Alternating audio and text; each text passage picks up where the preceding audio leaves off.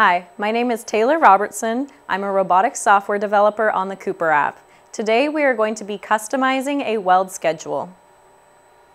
To customize a weld schedule, I'm going to select the weld that I wish to update. I've created a program that is currently using a weld number 4 from our weld by number selection. Once I have selected my weld start point, I am presented with a couple options.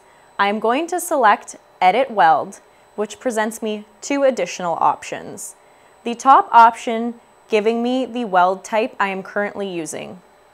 I'm going to select that and it presents me with our weld by numbers screen.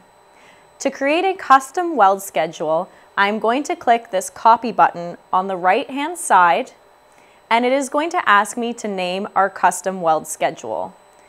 Once you have selected a name you like, click copy and it will tell you what weld procedure your schedule was copied to. Then it will list it underneath the custom weld schedule list.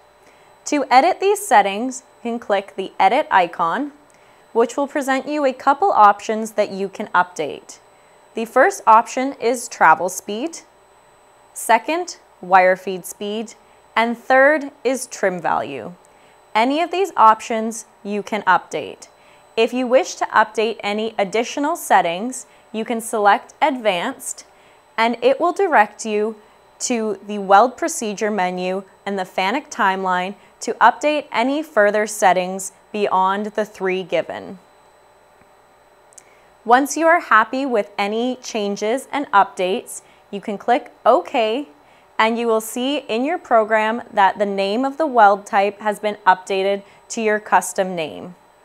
Once you've applied these changes, you can go ahead, click Done to write your program and enter production mode. And that is how you create a custom weld schedule.